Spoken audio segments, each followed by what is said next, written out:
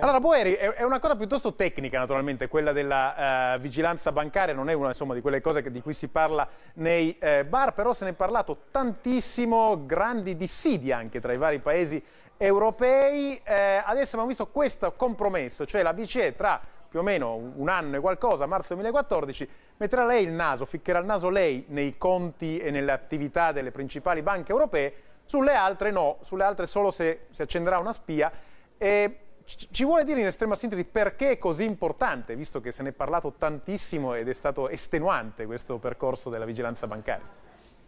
Beh, è molto importante perché ci sono diverse ragioni per cui è importante avere una supervisione europea. Da una parte ci sono degli effetti eh, diciamo di contagio da un paese all'altro, per cui soprattutto queste grandi banche, eh, cosiddetto a rischio sistemico, possono in qualche modo nella loro crisi coinvolgere anche altri paesi e fare a un certo punto anche crollare l'intero sistema eh, bancario. Quindi c'è bisogno che ci sia un'attenzione che vada al di là del singolo paese. Hanno spesso operazioni anche che vanno al al di là del paese, sono eh, in alcuni casi delle vere e proprie multinazionali, quindi non può un singolo paese vigilare su queste banche. Ma inoltre c'è anche il fatto che anche banche più piccole, quindi in questo senso l'accordo eh, di, eh, di, ieri è un po' eh, deludente perché bisognava estendere questa supervisione a tutte le banche nel, nell'Unione monetaria, eh, possono, e l'abbiamo visto, entrare in condizioni di difficoltà e trascinare in queste condizioni di difficoltà eh, altri, altre invece. Le interdipendenze ormai sono così forti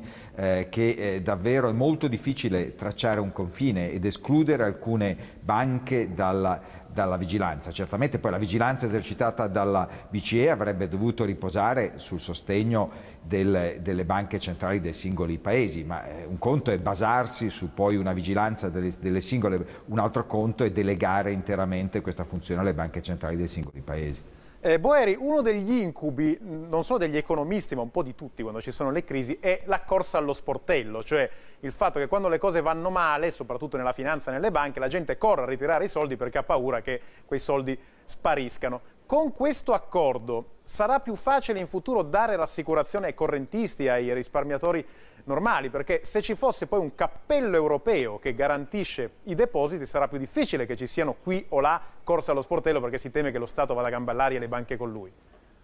Certamente è un passo in quella direzione, ma io direi che il tipo di corsa allo sportello che noi temiamo di più e che è avvenuto di più durante questa crisi è una corsa allo sportello tra le diverse banche, perché ricordiamoci che le banche si prestano dei soldi tra di loro. E quello che è successo durante questa crisi è che le banche hanno cessato di prestarsi soldi, quindi c'è stata, se vogliamo, una corsa allo sportello delle singole banche che non prestavano alle altre banche che ritiravano i propri depositi, quindi è proprio collassato il, il mercato interbancario questo ha provocato davvero eh, la crisi. Cioè, non abbiamo per fortuna vissuto la, la, la, corsa allo sportello della crisi del, del 29 invece.